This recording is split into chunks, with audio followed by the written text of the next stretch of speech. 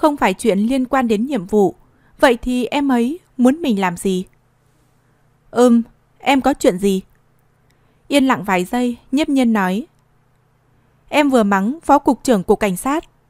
Phương Lượng lập tức bật cười. Ừ, đấy là phong cách của em mà. Sau đó ông ta tức đến nỗi ngất lịm, đưa đi bệnh viện cấp cứu rồi. Nhiếp nhiên nhanh chóng nói thêm một câu. Câu nói này của nhiếp nhiên khiến Phương Lượng vừa nãy còn buồn cười, lập tức bị dọa, bật dậy khỏi ghế. Cái gì? Cũng may là trong phòng không có ai, nếu không thì giọng của Phương Lượng nhất định sẽ nhận được ánh mắt kỳ thị từ người khác. Âm thanh đó truyền đến điện thoại, khiến nhiếp nhiên ngay lập tức phải đưa điện thoại ra xa. Sau đó cô xoa tay, bất đắc dĩ nói. Ông ta không đưa em tài liệu gốc, cấp dưới của ông ta lại không giải mã được. Bọn họ đã làm lãng phí thời gian mấy ngày rồi. Nếu cứ tiếp tục kéo dài, thì em không trở về đơn vị được mất. Nghe cô nói vậy, Phương Lượng lập tức thu giọng lại nói. Vậy em muốn tôi làm thế nào đây? Có thể tìm một người có chức vụ lớn một chút, tạo sức ép cho ông ta. Bọn họ sẽ dễ dàng đưa USB cho em hơn. Nhưng người ta sẽ không thèm để ý đến lời của tôi đâu. Anh ta là một giáo quan, người ta là phó cục trưởng cục cảnh sát, làm sao thèm quan tâm đến anh ta chứ? Nói thừa, đương nhiên em biết điều này, thế nên mới bảo thầy diễn một chút. Em bảo tôi giả làm đại đội trưởng sao? Phương Lượng cao giọng. Tôi sao làm giả danh như thế được? Ông ta chỉ cần báo lên trên một tiếng, không phải là biết hết sao? Nhâm nhiên nghe Phương Lượng cao giọng như thế thì không thèm quan tâm. Anh ta có phải là giáo quan của mình không? Cô mắng thẳng. Sao thầy lại ngốc như vậy nhỉ? Thầy chỉ việc dùng kế điệu hồ ly sơn, khiến đại đội trưởng ra ngoài. Sau đó thầy dùng điện thoại trong phòng ông ta, gọi một cú điện thoại dọa dẫm vài câu. Xem bọn họ có dám nghe không? Nói thì dễ, làm mới khó. Em đúng là con nha đầu thối. Hoành hoang cho lắm vào, rồi bắt tôi giải quyết hậu quả cho em. Phương Lượng nói một cách oán hận. Nghe Phương Lượng nói vậy, tức là anh ta đã ngầm đồng ý, nghiêm nhiên cười tủm tỉm. Ai bảo thầy là giáo quan của em chứ? Giáo quan thì phải giải quyết rắc rối của em à? Phương Lượng nghiến răng nghiến lợi mắng. Giáo quan không giải quyết rắc rối, giáo quan chỉ quan tâm thương yêu và lo cho tương lai lẫn tiền đồ của học viên mà thôi. Con bé này làm người ta đau đầu, nhưng cái miệng nói ngọt ngào cũng khiến người ta không chịu nổi. Phương Lượng ở đầu dây bên kia thở dài một tiếng, rõ ràng là hết cách với cô. Được rồi, coi như là em lẻo mép đi, để tôi nghĩ cách đã. Thầy tranh thủ thời gian đi, em cho thầy ba ngày, tốt nhất là trong mấy ngày tới nhé. Nhâm nhiên này đúng là được đằng chân lên đàn đầu mà. Phương Lượng vừa nhượng bộ một chút, cô đã bắt đầu thúc giục. Tôi biết rồi. Phương Lượng nói một cách chẳng vui vẻ gì. Sau đó anh ta nghĩ đến cái gì, liền nói. Vậy Lệ Xuyên Lâm thì sao? Cậu ta không giúp em à? Anh ta giúp rồi, nhưng tiếc là chẳng có tác dụng gì. Phó cục trưởng của anh ta là một ông già bảo thủ, đã béo lại còn cố chấp, nên mới dễ bị em làm cho tức ngất đi. Không thể nào, phó cục trưởng của bọn họ vô cùng coi trọng Lệ Xuân Lâm. Về cơ bản, không bao giờ từ chối cậu ta. Đến nhiệm vụ lần này, quan trọng như thế cũng giao cho cậu ta, đủ để thấy ông ta xem trọng cậu ta đến thế nào. Phương Lượng có cảm giác trong chuyện này nhất định có uẩn khúc gì đó mới dẫn đến sự từ chối của phó cục trưởng. Thầy đang ám chỉ việc em cãi nhau với phó cục trưởng mới dẫn đến sự bế tắc này. Cũng không loại trừ khả năng này. Phương Lượng nói thẳng. Cái miệng của em thì ai nói lại được chứ? Không bị em làm cho tức chết, cũng là ngoắc ngoài. Người ta ngoan ngoãn đưa đồ cho em mới là lạ đấy. Được rồi, là cô làm cho ông ta tức giận. Nhưng ai bảo ông ta không có não, không đưa đồ cho cô chứ? Thời gian của cô vô cùng quý báu được không? Làm sao có thể để ông ta lãng phí như thế chứ? Tóm lại là thấy nhanh lên đó. Nhiêm nhiên vừa mơ hồ, hình dung vấn đề vừa dục. Được rồi, tôi sẽ nghĩ cách giúp em. Sau khi cúp máy, Phương Lượng ở văn phòng vắt óc suy nghĩ. Phải làm thế nào thì đại đội trưởng mới để cho anh ta gọi điện thoại đây? Trong khi nhiếp nhiên còn đang nghĩ cách làm thế nào để hoàn thành nhiệm vụ, thì bên phía cục cảnh sát, phó cục trưởng lý đã được xe cấp cứu đưa vào bệnh viện rồi. Lệ Xuyên Lâm là đội trưởng đội trọng án, lại là cấp dưới mà phó cục trưởng lý coi trọng, nên phải đích thân đi theo hộ tống. Bác sĩ, chú của tôi sao rồi? Trên xe cứu thương, Dư xảo xảo không ngừng khóc lóc, nắm chặt tay của phó cục trưởng lý. Bệnh nhân là vì quá tức giận, đến tăng huyết áp đột ngột nên ngất đi. Bác sĩ bỏ ống nghe ra nói với Dư xảo xảo. Không có vấn đề gì quá nghiêm trọng, chỉ cần uống thuốc hạ huyết áp sẽ nhanh chóng bình phục thôi. Vâng, vâng, vâng ạ, cảm ơn bác sĩ. Dư xảo xảo nghe xong lời của bác sĩ mới yên tâm hơn một chút. Lệ Duyên Lâm luôn ở bên cạnh không nói một lời, bỗng lên tiếng. Vậy thì khi nào Phó Cục trưởng Lý tỉnh lại? Bác sĩ nhăn mặt, lắc lắc đầu. Cái này thì khá là khó nói. Dù sao thì Phó Cục trưởng Lý cũng có tuổi rồi. Áp lực công việc lại lớn. Trạng thái tinh thần không ổn định mới dẫn đến việc ngất xỉu này. Mặc dù không phải là vấn đề lớn nhưng tuổi cao rồi. Các anh cũng nên để ông ấy nghỉ ngơi dưỡng sức thì cơ thể mới từ từ bình phục được. Vậy đến sáng mai có thể tỉnh lại không? Ngày mai thì chắc là tỉnh rồi, nhưng vẫn phải xem tình hình sức khỏe của ông ấy. Bác sĩ thật là biết cách nói chuyện. Dù sao thì mặc kệ là bệnh nhân có bệnh hay không, bệnh thật hay giả bệnh, nếu đã ngất đi rồi thì bác sĩ luôn có cách nói mơ hồ nước đôi như vậy. Nếu như sáng mai tỉnh lại, coi như là ông ta chuẩn đoán đúng. Còn nếu không thì ông ta đã nói là do thể trạng của bệnh nhân. Kiểu gì cũng không bị ai chê trách. Dư xảo xảo thấy Lệ Xuyên Lâm gấp gáp như vậy thì nghĩ rằng anh ta đang lo lắng cho chú Lý. Vì thế giọng nhẹ nhàng an ủi. Anh yên tâm đi, bác sĩ đã nói là không sao rồi. Vậy thì chắc chắn chú Lý sẽ không sao đâu. Anh đừng lo lắng quá. Nhưng thật ra Lệ Xuyên Lâm đâu có lo lắng cho bệnh tình của Phó Cục trưởng Lý. Anh ta chỉ mong ông ta tỉnh lại nhanh một chút để anh ta có thể sớm nói chuyện để lấy USB mà thôi. Nhâm nhiên chỉ cho anh ta 3 ngày. Nếu như ông ta mãi không tỉnh lại thì có phải anh ta lại rơi vào cảnh tiến thoái lưỡng nan không? Nếu anh ta không lấy thì là người không có chữ tín. Hơn nữa còn đẩy nhấp nhiên vào tình thế nguy hiểm. Nếu anh ta lấy mà không nói với phó cục trưởng lý, tự ý lấy đồ lại là hành vi trộm cắp. Anh ta là cảnh sát, anh ta không thể làm như vậy. Trong không gian nhỏ hẹp của chiếc xe lắc lư suốt đoạn đường, Dư xào xào nhân cơ hội này mà cố ý dựa vào Lệ Xuyên Lâm đang trầm lặng ngồi một góc, sau đó mặt lại đỏ lên nói lời xin lỗi. Bác sĩ ở phía đối diện nhìn thấy cảnh này rất có ý quay mặt nhìn ra chỗ khác. Lệ Xuyên Lâm thấy thi thoảng lại có cách gì đó chạm vào bả vai mình. Cuối cùng anh ta đưa mắt nhìn về phía Dư xào xào, Thấy mặt cô ta ửng đỏ, Lệ Xuyên Lâm đột nhiên áp sát người về phía cô ta.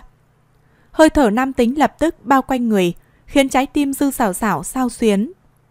Lẽ nào Lệ Xuyên Lâm đã động lòng với mình sao? Đây là cách anh ấy thể hiện tình cảm với mình trên xe sao?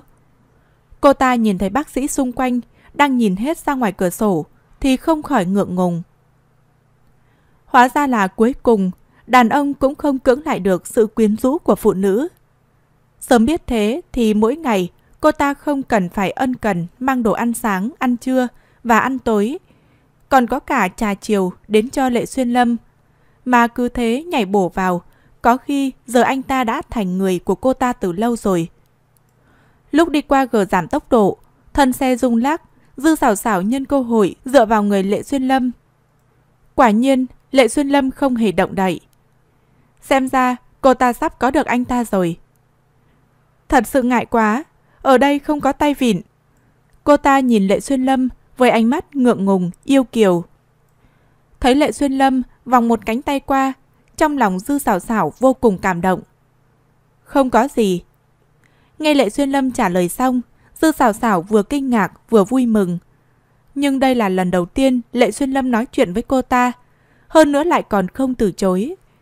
Nhất định là do vừa nãy cô ta khóc lóc vô cùng đáng thương, đã làm tan chảy núi băng kia rồi. Dư xảo xảo nghĩ một cách tự mãn.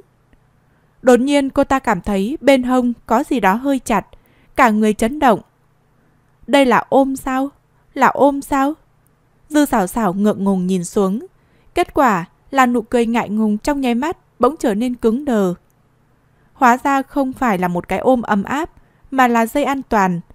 Cô ta bị cố định trên ghế ngồi, giống như một con rùa. Ngoài tay chân cử động được ra, thì toàn thân không thể nhúc nhích gì được nữa. Như thế này thì cô sẽ không bị lắc lư nữa. Bên tai truyền đến giọng nói lạnh tanh của Lệ Duyên Lâm. Trái tim thiếu nữ của Dư xào xào, tại thời khắc này thực sự tan vỡ. Tại sao lại thành ra thế này chứ? Thành phố A, màn đêm dần buông xuống. Lúc này, trên tầng thượng của tòa nhà Hoắc Thị, Hoắc Mân đang ngồi trên ghế, sắc mặt u ám. Người đâu? Người đàn ông đang quỳ giữa căn phòng, trên người đầy vết băng bó, máu vẫn chảy qua tấm gạc. Thưa Hoắc Tổng, cô gái ấy chạy rồi. Chạy rồi. Hoắc Mân đứng dậy, tiến gần về phía gã. Anh là một người đàn ông mà bị một đứa con gái đánh cho thân tàn ma dại thế này. Thân thủ của cô ta rất lợi hại, hơn nữa còn rất tàn nhẫn. Một dao đâm thẳng vào tay của tôi. Lúc này, gã đàn ông kia tưởng tượng lại màn tranh đấu lúc sáng cùng với ánh mắt tàn nhẫn lạnh lùng của nhiếp nhiên, thì bất giác dùng mình. Con dao vừa vung xuống, gã ta chỉ cảm thấy một dòng máu đỏ chảy ra. Người con gái đó thật sự rất tàn nhẫn. Hoác Mân nhìn người đang cúi mặt nhìn xuống đất, giọng lạnh lùng. Vì thế, anh không những không hỏi được bí mật giữa cô ta và Hoác Hoành, mà còn đánh rắn động cỏ nữa. Giọng nói này nghe có vẻ như rất bình thường, nhưng là thuộc hạ của hắn bao nhiêu năm. Gã đàn ông kia rất hiểu Hoác Mân lúc này đang vô cùng tức giận. Giọng gã run run. Xin, xin lỗi Hoác Tổng. Tôi, tôi không cố ý. Lần sau, lần sau tôi nhất định sẽ làm tốt hơn. Anh vẫn còn muốn có lần sau sao? Xin lỗi, xin lỗi Hoác Tổng. Tôi thật sự là không cố ý. Bây giờ tôi sẽ huy động anh em đi tìm người. Nhất định sẽ tìm được cô gái đó. Hoác Mân tức giận, cắn chặt cơ hàm, giơ chân đạp thẳng lên vai gã đàn ông kia. Cút ra ngoài, cút. Vâng vâng. Gã đàn ông lăn ra đất, liên tục gật đầu siêu vẹo chạy ra ngoài. Ăn hại, lũ ăn hại. Hắn gạt hết đồ trên bàn xuống, giấy tờ bay lên khắp phòng. Tiếng bình rượu và ly rơi xuống sàn vỡ vụn vang lên. Hạ úy Sai đi ở hành lang, định mở cửa đi vào, thì nhìn thấy gã đàn ông nhếch nhác chạy ra ngoài. Sau đó bên trong phòng vang lên vô số âm thanh đổ vỡ. Cánh tay đang định gõ cửa bỗng khựng lại. Sau đó Hạ úy Sai đẩy cửa đi vào trong. Khi nhìn thấy cảnh tượng lộn xộn trong phòng, cô ta nhỏ nhẹ hỏi. Mấy ngày trước, không phải anh còn rất vui sao? Sao lại tức giận như vậy? Hoác Mân nói trong tức giận. Đúng là một lũ ăn hại. Có mỗi một đứa con gái mà cũng không bắt được. Thật sự là không biết nuôi chúng nó để làm ăn gì. Bắt người làm gì? Hạ úy Giai đi đến bên cạnh Hoác Mân, lấy khăn tay lau những vết rượu vang bắn trên tay hắn. Hoác Mân luôn tin tưởng tuyệt đối Hạ úy Giai. Nghe cô ta hỏi, cũng hạ thấp giọng nói. Anh dùng hết quan hệ của mình mới biết được thông tin. Thân phận của Hoác Hoành nhất định là có vấn đề. Nghe nói hai ngày hôm nay, Hoác Hoành đến một quán ăn trao đổi thông tin với người khác. Hảo ý sai gật đầu. Vậy thì tốt rồi, đây là một cơ hội không thể bỏ qua. Nhưng cái lũ người ấy, đến người cũng không bắt nổi, làm anh tức đến nỗi đau cả đầu. Nói rồi Hoác Mân dây huyệt thái dương, cau mày nhăn mặt. Hảo ý sai dìu hắn ngồi ra ghế, đứng đằng sau hắn. Bàn tay mềm mại, vòng qua huyệt thái dương của hắn nhẹ nhàng xoa bóp. Không bắt được người thì đã không bắt được rồi. Việc gì anh lại tức giận để ảnh hưởng đến sức khỏe của mình chứ? Em không biết đâu, chuyện này cực kỳ quan trọng đối với cả anh và cả Hoác gia. Hoác Mân được say huyệt thái dương thì thấy cả người vô cùng thoải mái. Lại thêm việc sắp đến ngày kỷ niệm thành lập Hoác Thị. Đây chính là cơ hội tốt để anh vạch trần nó. Ngày kỷ niệm thành lập Hoác Thị là ngày quan trọng nhất đối với cả Hoác Thị. Hơn nữa, buổi lễ kỷ niệm của Hoác Thị rất khác biệt. Các hoạt động chúc mừng được tổ chức vào ban ngày, còn buổi tối thì không. Nhưng thực ra, buổi tối không phải không tổ chức, mà là bữa cơm thân mật của anh em trong nhà. Có thể nói Hoác Hoành là người chủ trì. Bởi vì đó còn là bữa tiệc để phân chia lợi ích từ công việc làm ăn không chính đáng. Hơn nữa, bữa tiệc này đối với Hoác Mân mà nói, có thể nói là thời điểm thích hợp để lấy sự ủng hộ từ các vị cha chú. Tất nhiên, cũng là thời cơ tốt để lật đổ Hoác Hoành. Như vậy à, nếu không bắt được người thì đồ đâu? Hoác Mân đang chìm đắm trong suy nghĩ của mình và hưởng thụ sự thoải mái buột miệng nói. Đồ gì cơ? Tất nhiên là người tiếp nhận thông tin sẽ để lại dấu hiệu gì đó. Tìm được cái đó thì sẽ có đầu mối tìm tiếp. Giọng nói nhẹ nhàng mềm mại của Hạ Ý Sai truyền đến. Hoác Mân lập tức mở to mắt. Đúng rồi, anh chỉ nghĩ đến bắt người, không nghĩ đến tìm đầu mối. Em yêu à, em thông minh quá. Hắn lập tức nắm lấy tay Hạ Úy Sai, kéo cô ta vào lòng, hôn lấy hôn đề. Đừng đùa nữa, đang ở công ty, có thể sẽ có người nhìn thấy. Hảo ý sai nằm trong lòng Hoác Mân khẽ cựa quậy. Nhìn thấy thì đã sao? Đây là công ty của anh, ai dám nói chứ? Hoác Mân vô cùng bá đạo, khiến cho Hảo ý sai đấm nhẹ hắn mấy cái. Thế nhưng anh phải nhanh chóng tìm ra đầu mối đi. Nếu cô gái kia nói với Hoác Hoành, thì không chừng hắn ta sẽ lập tức gọi người đi hủy chứng cứ đó. Không sai, em nói quả thực không sai chút nào. Nghe lời nhắc nhở của Hạ úy sai, Hoác Mân lập tức quát to. Người đâu? Vào đây nhanh lên! Hạ úy sai nghe tiếng hắn gọi người xong, lập tức nhảy ra khỏi lòng hắn, sau đó chỉnh lại đầu tóc đứng bên cạnh hắn. Hoác Tổng, có chuyện gì cần dặn dò ạ? À?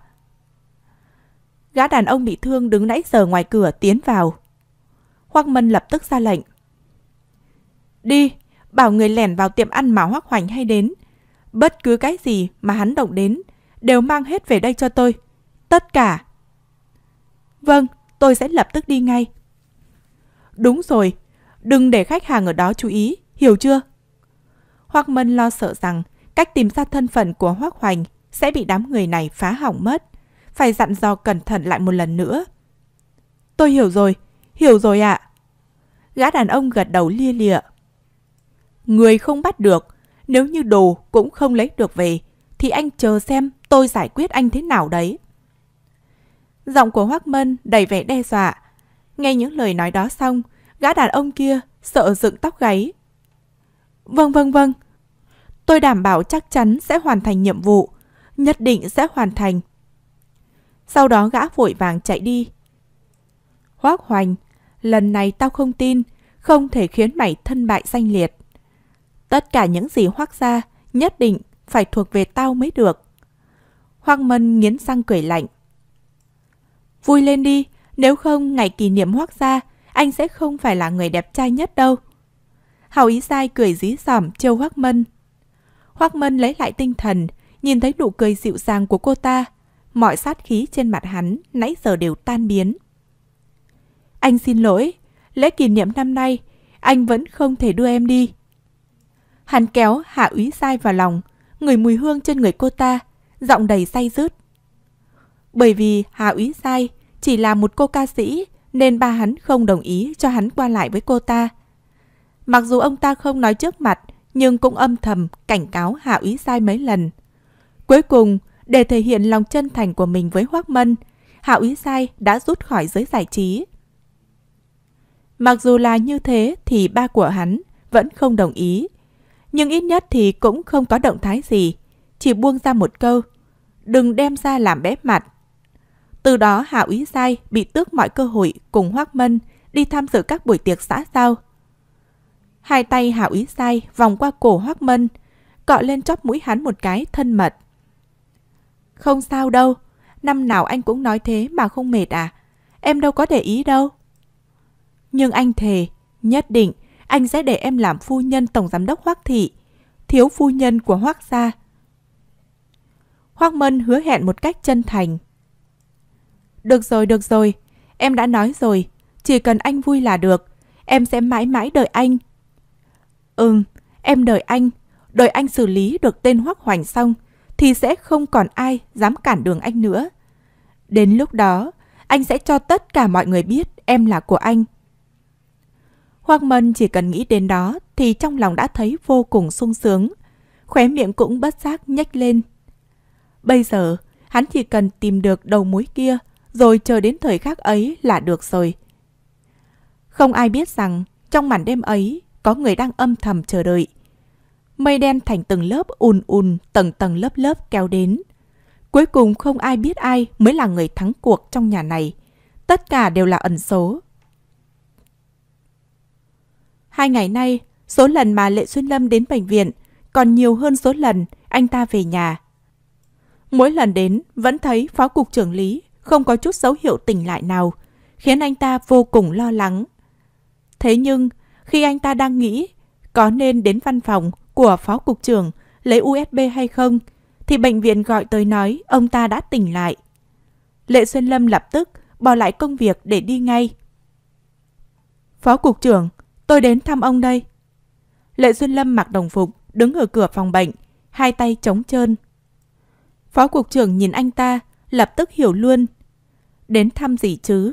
Chắc là đến thuyết phục mình đây. Phó Cục trưởng ngồi trên giường bệnh, nhìn tờ báo trong tay mình, nhàn nhạt, nhạt hỏi. Ừm, ở cục không có vấn đề gì chứ? Lệ Xuân Lâm lấy một cái ghế ngồi bên cạnh giường bệnh, trả lời rất nghiêm túc. Không sao, tất cả đều bình thường ạ. Vậy thì tốt rồi. Phó cục trưởng không ngẩng đầu lên mà vẫn đang xem báo, trả lời một câu xong, không nói gì nữa. Lệ Xuân Lâm yên lặng một lúc, sau đó nói trực tiếp. Phó cục trưởng, đưa tài liệu gốc cho tôi. Phó cục trưởng dường như đã chờ câu nói đó từ lâu. Ông lạnh lùng nói. Có phải cậu muốn đưa tài liệu gốc cho cô ta? Tôi nói cho cậu biết, điều này là không thể. Điều này nằm ngoài trình tự cũng như quy tắc làm việc. Tôi ở cạnh giám sát cô ta phá mã, sẽ không xảy ra vấn đề gì đâu. Tiếc rằng, sự bảo đảm của Lệ Xuyên Lâm lại không khiến cho Phó Cục trưởng thay đổi. Vẫn là hai chữ. Không được. Lệ Xuân Lâm nhíu nhẹ lông mày. Phó Cục trưởng, ông không tin tôi. Câu nói này rốt cục đã khiến Phó Cục trưởng bỏ tờ báo trên tay xuống nhìn anh ta. Câu trả lời tiếp theo đối với Lệ Xuyên Lâm là cực kỳ nghiêm trọng. Nghiêm trọng đến nỗi chỉ cần Phó Cục trưởng gật đầu nhẹ là anh ta sẽ không so dự mà đi luôn. Anh ta đối nhân xử thế hết sức đơn giản, không vòng vo tam quốc như người khác. Nhưng phá án thì anh ta lại là một người tài giỏi. Vì vậy, Phó Cục trưởng Lý lập tức giải thích. Không phải tôi không tin cậu, mà là tôi không tin cô ta. Sao cậu lại có thể để một nữ tân binh đi làm nhiệm vụ được chứ? Cậu nói xem, có phải cậu bị cô ta mê hoặc rồi không? Ông ta chỉ cần nghĩ đến ngày hôm đấy thì vẫn cảm thấy tim đập nhanh, lửa dần lại sôi sục. Cô gái kia là tân binh gì chứ? Rõ ràng là giặc cỏ. Thứ giặc cỏ ác mồm ác miệng. Lệ Duyên Lâm nói ngắn gọn. Năng lực của cô ấy tốt vô cùng. Phó cục trưởng chỉ vào người mình. Tốt ư? Đấy gọi là tốt à? Cậu xem tôi giờ đang ở đâu? Bây giờ nhìn tôi như thế nào? Lại nghĩ xem dáng vẻ cô ta ở cục cảnh sát ngày hôm ấy. Cậu nói cho tôi biết, cô ta là một quân nhân sao? Cô ta giống sao? Cô ấy đã trải qua một tháng huấn luyện, đánh bại hết tất cả, kể cả những tân binh xuất sắc nhất. Vậy thì nói lên cái gì? Chỉ có thể nói được cô ta đã đạt tiêu chuẩn về thể lực. Thế còn những cái khác thì sao? Dựa vào thái độ của cô ta ở văn phòng ngày hôm ấy là thấy cô ta không biết cách đối nhân xử thế. Không biết là giáo quan của cô ta có bị cô ta đối xử như thế không? Phó cục trưởng nghĩ thầm. Các cái khác là cái gì? Lệ Duyên Lâm nghĩ mãi cũng không ra, ánh mắt liền chuyển đến phía phó cục trưởng. Phó cục trưởng nén sự tức giận lạnh lùng nói. Nói chuyện, làm việc, làm người có điểm nào giống quân nhân? Hoặc nói cách khác, có điểm nào giống con gái không? Lệ Duyên Lâm không cảm thấy cách làm việc và cách cư xử của một người có liên quan gì đến nhau. Chuyện này không ảnh hưởng gì đến năng lực của cô ấy – Phó cục trưởng lập tức phản bác. Sao lại không ảnh hưởng chứ? Một chút sự tin tưởng và chân thành của quân nhân cô ta cũng không có. Tôi hiện giờ đang vô cùng nghi ngờ. Cô ta cứ khăng khăng đòi tài liệu gốc như thế. Có lẽ là có mục đích khác. Lệ Xuyên Lâm nhíu mày, vẻ mặt nghiêm túc. Anh ta có cảm giác phó cục trưởng như đang cố tình gây sự vậy. Không có chuyện đó đâu, tôi tin cô ấy. Anh ta trả lời một cách chắc chắn. Kết quả lại nhận được ánh mắt hoài nghi từ phó cục trưởng. Tiểu lệ à, dạo gần đây cậu lạ lắm. Có phải là cậu có ý gì với cô tân binh đấy không? Ý gì? Đúng, ý của anh ta là nhanh hoàn thành nhiệm vụ. Như thế nhiếp nhiên mới không bị gạch tên. Tôi muốn nhanh chóng hoàn thành nhiệm vụ. Nghe thấy Lệ Xuyên Lâm nói vậy, Phó Cục trưởng mới yên tâm một chút. Cũng may là cậu ta không có ý gì với cô gái kia. Nếu không thì cháu gái nhà mình sẽ tan nát cõi lòng mất. Thật ra hai vấn đề này, vừa nãy Lệ Xuyên Lâm đều không trả lời rõ ràng. Nhưng Phó Cục trưởng lại không để ý. Ông ta vẫn đang chìm trong suy nghĩ Lệ Xuyên Lâm không thích người con gái kia. Cháu gái mình vẫn còn cơ hội. Sau đó nói một hơi dài. Tiểu Lệ à, tôi biết cậu làm việc rất chăm chỉ, nghiêm túc, hơn nữa còn đem về cho đội cảnh sát không ít vinh quang. Nhưng về mặt tình cảm, là người đi trước, tôi vẫn nên nói với cậu một câu. Chọn phụ nữ vẫn nên chọn người dịu dàng ấm áp một chút thì tốt hơn. Những thứ khác đều không đáng tin. Lệ Duyên Lâm nghe phó cục trưởng tự nhiên nói những điều kỳ lạ như vậy, cảm thấy hơi hoang mang. Không phải là hai người đang nói về chuyện tài liệu gốc sao? Sao lại nói đến chuyện tình cảm vậy? Lại thành tìm cô gái dịu dàng ấm áp là sao? Đặc biệt là cô gái đó, cậu xem cô ta chọc tức tôi thành ra thế này. Cô ta đứng trước mặt bao nhiêu người dạy dỗ uy hiếp tôi. Rõ ràng là coi phó cục trưởng tôi không ra cách gì. Không nói đến địa vị thì dù sao, tôi cũng là bề trên của cô ta. Đúng là không tôn trọng người lớn chút nào. Lệ Duyên Lâm bình tĩnh tiếp lời. Đối với ai, cô ấy cũng vậy. Nghĩ đến việc mình bị cô ấy quát mắng, còn cả Phương Lượng cũng bị cô ấy chửi. Khóe miệng anh ta không hiểu sao lại hơi cong lên. Cô gái đó đúng là mồm miệng sắc sảo vô cùng, có thể cãi người sống thành người chết, người chết thành người sống. Vậy mới nói, loại con gái đó không hợp với cậu đâu, tiểu lệ. Người ngồi trên giường vừa kết luận xong thì lại nhìn thấy mặt mũi lệ xuyên lâm, ánh lên nét cười, khiến ông ta có chút kinh ngạc. Cuối cùng lệ xuyên lâm cũng cười rồi sao? Đây đúng là chuyện trước nay chưa từng thấy. Lệ xuyên lâm lấy lại tinh thần, nói một cách nghiêm túc. Phó Cục trưởng, chúng ta đang thảo luận công việc. Phó Cục trưởng ho nhẹ một tiếng, có chút bối rối. Lệ Xuân Lâm này đúng là không biết cách cư xử mà.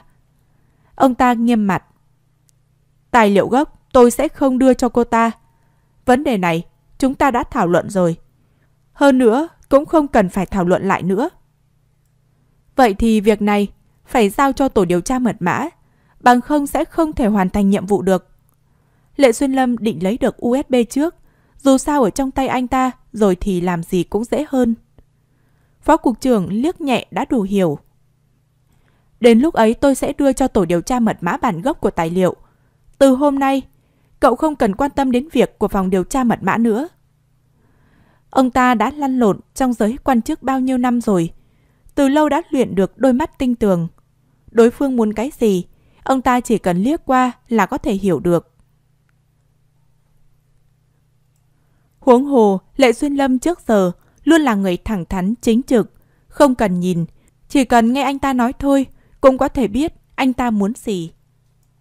Lệ Xuân Lâm không ngờ bản thân đã lấy được tài liệu rồi mà còn bị tước đoạt quyền chỉ huy. Tôi là người chỉ đạo chính trong nhiệm vụ lần này. Lệ Xuân Lâm trầm mặt xuống. Phó cục trưởng vẫn giữ nguyên thái độ.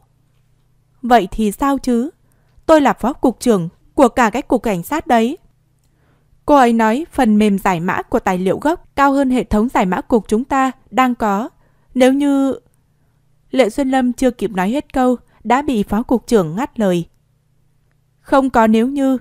Lẽ nào mấy chục chuyên viên giải mã ở cục cảnh sát lại không bằng một cô tân binh nhãi nhép sao? Ông ta không tin cô tân binh kia lại tài giỏi đến thế. Những chuyên viên giải mã ở cục cảnh sát đều được tuyển chọn từ những học viên xuất sắc nhất của các trường. Cô tân binh nhãi nhép kia mới tốt nghiệp cấp 3 thì tài giỏi đến đâu chứ? Phó cục trưởng vẫn đang tức giận thì bỗng nhiên Lệ Xuyên Lâm đứng phát dậy khiến ông ta giật mình. Mặt mũi căng thẳng. Cậu, cậu định làm gì? Ba ngày. Nếu ba ngày mà không phá được mật mã thì thật sự xin lỗi phó cục trưởng. Lệ Xuyên Lâm khẽ cúi đầu. Phó cục trưởng tức giận chỉ vào Lệ Xuyên Lâm. Làm sao? Cậu muốn tạo phản hả? Cái gì mà nội trong ba ngày không phá được mật mã thì xin lỗi tôi. Có phải, có phải cậu lại muốn uy hiếp tôi không vậy hả? Tất cả đều là vì nhiệm vụ. Điên rồi, điên rồi. Lệ Xuyên Lâm này có phải bị cô gái kia làm cho hư rồi không? Sao lại dám nói với mình những lời như vậy chứ? Phó cục trưởng phất tay. Đừng lôi nhiệm vụ ra dọa tôi.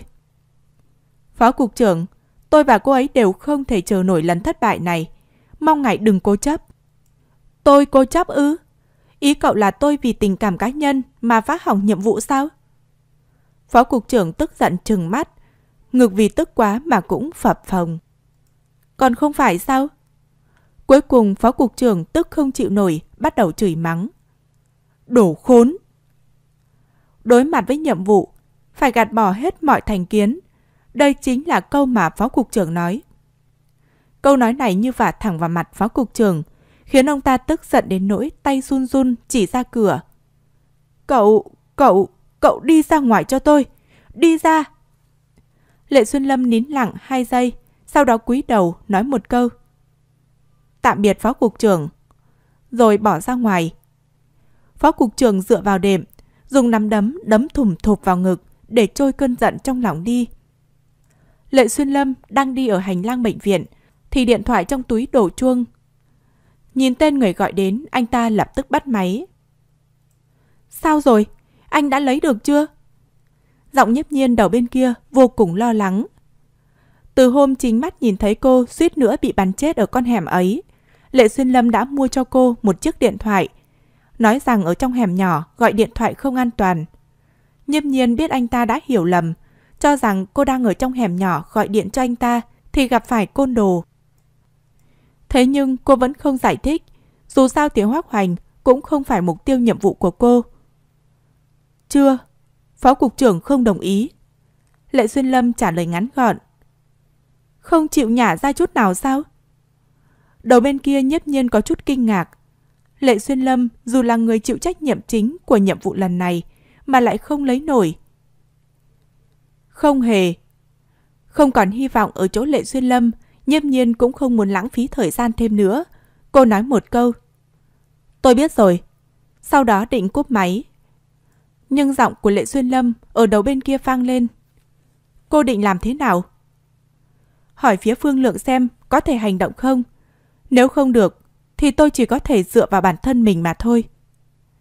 Nghe đến chuyện cô định hành động một mình, Lệ Xuyên Lâm đang bước ở hành lang liền dừng lại.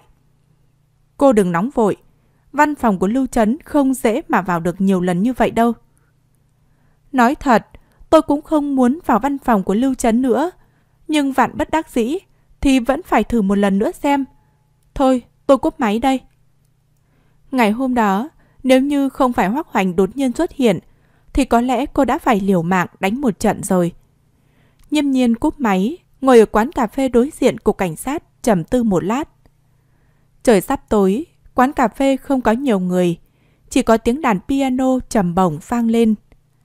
Sau đó nhấp nhiên lại gọi một cuộc điện thoại khác. Điện thoại vừa kết nối, cô đã vội vàng hỏi. Sao rồi? Thầy đã nghĩ ra cách chưa? Vẫn chưa, mấy vị lãnh đạo cứ ngồi lì trong phòng. Đến đi vệ sinh cũng khóa cửa. Tôi hoàn toàn không có cách nào ra tay. Ở đầu dây bên kia Phương Lượng cũng vô cùng lo lắng, bất an. Một lúc lâu sau, nhiếp nhiên mới trả lời. Vậy chỉ có thể dựa vào chính bản thân mình thôi. Vào thời khắc quan trọng, đều không dựa được vào ai. Thật sự là không biết cần bọn họ làm gì. Em nghĩ ra cách gì rồi? Phương Lượng biết cô là người thông minh nhanh trí. Lúc ấy, ngay cả máy nghe lén ở trên người Phương Phỉ, cô còn có cách kỳ diệu gì đó lắp đặt thành công. Nếu không phải sau đó Lương Phỉ chết rồi, thì cô gái này cũng không phải khổ như thế. Để em động não xem sao. Nhiếp nhiên nhìn về phía cục cảnh sát nói. Phương Lượng biết cô có chiêu rồi thì thở phào nhẹ nhõm. Vậy thì tốt rồi, nhưng em nên nhớ phải cẩn thận đấy. Vâng, em biết rồi. Cúp điện thoại lần nữa, ánh mắt của nhiếp nhiên rắn chặt ở cửa của cục cảnh sát. Mặt trời dần lặn về phía tây, tia sáng cuối cùng bị bóng đêm dần che khuất. Bóng đêm cuối cùng cũng đã chiếm lấy tất cả. 9 giờ tối, phó cục trưởng nằm ở bệnh viện nhắm mắt nghỉ ngơi. Reng! Đột nhiên tiếng chuông điện thoại vang lên, phá tan đi sự yên lặng của căn phòng. Phó cục trưởng lấy điện thoại ra nghe. Cục trưởng, tại sao cục trưởng lại gọi giờ này chứ? Lẽ nào Lệ Xuyên Lâm vượt mặt mình, báo cáo trực tiếp cho cục trưởng chuyện này sao? Ông ta vẫn chưa kịp mở miệng, thì đã nghe thấy âm thanh ở đầu dây bên kia vọng đến. Có chuyện gì vậy? Sao chuyện đó đến bây giờ vẫn chưa được giải quyết? Phó cục trưởng lập tức trở nên lo lắng. Cục trưởng, tài liệu kia có chút vấn đề nên tốn hơi nhiều thời gian. Tôi nói cho anh biết, nhanh chóng xử lý vấn đề này đi. Đã kéo dài bao nhiêu ngày rồi? Lãng phí bao nhiêu thời gian rồi hả? Nghe cục trưởng nói một cách nghiêm túc như vậy, phó cục trưởng toát mồ hôi. Không phải tôi... Ông ta định giải thích mấy câu, đồng thời cũng định nói vì việc này mà bản thân mình đang phải nằm viện. Nhưng ông ta còn chưa kịp nói hết, thì đầu dây bên kia đã lập tức cắt ngang. Anh đừng nghĩ đến việc tìm cớ với tôi. Anh nên biết là thời gian không đợi ai. Có mỗi chuyện nhỏ như vậy mà các anh đã làm mất bao nhiêu thời gian rồi. Vâng, cục trưởng nói đúng. Phó cục trưởng gật đầu như gà một thóc. Cục trưởng hết kiên nhẫn thúc giục. Nhanh chóng xử lý đi. Nếu đến lúc cấp trên gây sức ép xuống, anh biết hậu quả như thế nào rồi đấy. Phó cục trưởng nghe hai chữ hậu quả xong thì liên tục bảo đảm. Tôi chắc chắn, tôi đảm bảo trong mấy ngày tới nhất định sẽ hoàn thành. Ừm, tôi cũng không muốn nói nhiều. Dù sao thì anh tự mình giải quyết là được. Tôi tin vào năng lực của anh. Vâng. Điện thoại ngắt một cách dứt khoát, nhưng tâm trạng của phó cục trưởng như rơi xuống đáy vực. Như thế này thì ông ta lấy đâu ra tâm trạng để nằm dưỡng bệnh chứ? Ông ta nhanh chóng mặc quần áo, đi giày và bắt xe taxi đi về cục cảnh sát. Lúc này, ở trong con ngõ sau cục cảnh sát, nhiếp nhiên cầm điện thoại trên tay, đắc ý cười. Cô dùng điện thoại của cục trưởng để gọi. Không tin lão già phó cục trưởng kia còn có thể nằm yên trên giường bệnh được. Cô nhét điện thoại vào túi, sau đó gỡ đường dây kết nối nội bộ của điện thoại cục cảnh sát ra, cắm lại như vị trí ban đầu. Cuối cùng đóng lại hộp thông tin rồi rời đi. Thế nhưng khi cô đang chuẩn bị rời đi, thì lại nhìn thấy một chiếc xe lao như bay trước mặt. Gương mặt trong xe khiến cô dừng bước. Gương mặt này sao lại quen vậy? Người này là ai? Cô lần mình trong bóng tối, nhìn thấy chiếc xe đó dừng ở góc phố treo đối diện mình. Xe cộ trên đường qua lại nhộn nhịp, ánh đèn lập lè, thỉnh thoảng mới chiếu vào đến trong xe. Mơ mơ ảo ảo, khiến nhiếp nhiên không nhìn rõ gương mặt ấy. Trong lúc cô đang hoang mang, thì đột nhiên đèn pha của chiếc xe ấy chợt sáng rồi lại vụt tắt. Trong khoảnh khắc mơ hồ ấy, nhiếp nhiên dường như nhìn rõ đường nét trên gương mặt người trong xe, hình như là hoác hoành. Có phải là do sự xuất hiện của mình lần trước phá vỡ giao dịch của anh ta với người khác, nên lần này anh ta đổi cách khác rồi. Đúng lúc cô định nhìn kỹ lại lần nữa, thì đèn pha lại sáng lên, nhưng lần này vụt tắt rất nhanh, gương mặt ấy lại bị bóng đêm che khuất. Vài lần như thế, sự thu hút của nhiếp nhiên chuyển dần từ người trong xe sang ánh đèn của chiếc xe. Tại sao ánh sáng của chiếc xe lại lập lòe liên tục như vậy? Bị hỏng sao? Nhâm nhiên quan sát một cách kỹ lưỡng, ánh đèn đó thì lại thấy không phải là chuyện bình thường. Nếu như đèn xe hỏng thì nó phải theo quy luật, chứ không phải theo kiểu lập lòe ngắn dài không giống nhau. dài ngắn không giống nhau. Trong đầu nhấp nhiên như lóe lên một tia sáng. Nếu như người ngồi trong xe là Hoác Hoành, thì ánh đèn lập lòe lúc này mang hàm ý là... Nhiếp nhiên nhớ đến mật mã mà cô đã giải được ở nhà hàng. Mã Moss. Ngay lập tức toàn bộ sự chú ý của cô tập trung vào ánh đèn của xe. Ngón tay cô vô thức đập nhẹ vào cánh tay còn lại theo nhịp ánh sáng của ánh đèn, vừa đập tay vừa tính toán. Bởi vì trước đó cô tập trung vào quá trình phán đoán xem người trong xe có phải là Hoác Hoành không, nên đoạn sau cô dùng mã Morse để giải nhưng lại phát hiện không đúng. Không thể nào sử dụng tín hiệu với độ dài ngắn khác nhau thì chỉ có mã Morse thôi. Làm sao lại không giải được chứ? Nhiêm nhiên đứng trong góc tối, nhìn thấy phía không xa cũng có một chiếc xe như hồi âm lại tín hiệu của bên này. Nhưng tín hiệu đèn nháy đặc biệt là rất nhanh và ngắn. Sau khi hai chiếc xe đã trao đổi mật mã với nhau xong, liền rời đi. Nhiếp nhiên vẫn đứng ở đó, nhưng đầu vẫn chìm trong suy nghĩ về những tín hiệu đèn lúc nãy. Tại sao dùng mã MOS lại không thể giải được chứ? Lẽ nào bọn họ dùng thủ đoạn mã hóa cao hơn? Nhâm nhiên nghĩ một lát, thì thấy không phải là không có khả năng đó. Cô nghĩ lại về tần suất cũng như độ ngắn dài của ánh đèn nhấp nháy. Cuối cùng, trong phút chốc, nghĩ đến ánh đèn cuối cùng như sự hồi đáp của chiếc xe kia, dường như có sự thay đổi rất nhanh. Đó là mật mã quân đội. Ngày trước, cô có ám sát một quân nhân và từng lẻn vào quân đội, nên cô biết bọn họ có một loạt ám hiệu. Sự phức tạp của loại mật mã này khác xa với các loại mật mã khác. Quân đội sẽ sử dụng bức sóng âm tần hoặc ánh sáng để làm ám hiệu. Chỉ cần một động thái nhẹ cũng có thể bao hàm ý nghĩa biến hóa khôn lường. Nhiêm nhiên dựa vào tường, trong đầu bắt đầu tính toán, dựa vào trí nhớ của mình để suy tính lại. Nhưng bởi vì sự chú ý lúc đầu của cô không đặt vào ám hiệu, thế nên trong trí nhớ của cô chỉ có tín hiệu của chiếc xe còn lại. Tiếc rằng không đạt được tin tức hữu dụng gì. Nhiêm nhiên chìm vào dòng suy nghĩ. Nếu như người trong xe là Hoác Hoành, vậy thì tại sao anh ta lại dùng ám hiệu của quân đội? Bởi vì có chuyện xảy ra ở tiệm ăn lúc trước, nên nhiếp nhiên không thể khẳng định được là anh ta chỉ muốn sử dụng mật mã quân đội để khiến cho người khác khó mà phát hiện ra, hay là bản thân anh ta có vấn đề. Cô cảm nhận thấy như bản thân vừa giải được một câu đố thì lại có một câu đố càng khó hơn ập đến. Thật là khiến người khác phiền lòng mà. Thế nhưng đâu chỉ nhất nhiên phiền lòng, còn có một người nữa vì nhận được một cuộc điện thoại mà trong lòng phập phồng lo sợ. Thế nào rồi? Đã hai ngày rồi, các cậu đã phá được mật mã chưa? Sau khi rời khỏi bệnh viện, Phó Cục trưởng tức tốc đến Cục Cảnh sát, ngồi liên tục ở phòng vi tính hai ngày hai đêm. Tổ điều tra mật mã này dưới sự thúc giục của Lệ Xuyên Lâm vừa mới giải mã được tài liệu giả chết tiệt kia. Còn chưa kịp nghỉ ngơi gì đã bị phó cục trưởng lôi đến hành hạ một lần nữa. Bọn họ cũng là người mà. Cứ như thế này không chết cũng tàn phế mất. Tổ trưởng tổ điều tra mật mã mặt mày nhăn nhó nói. Mật mã này khá phức tạp. Bản thân tài liệu đã có mật mã rồi. Lại thêm lúc tải xuống lại có một tầng mật mã nữa.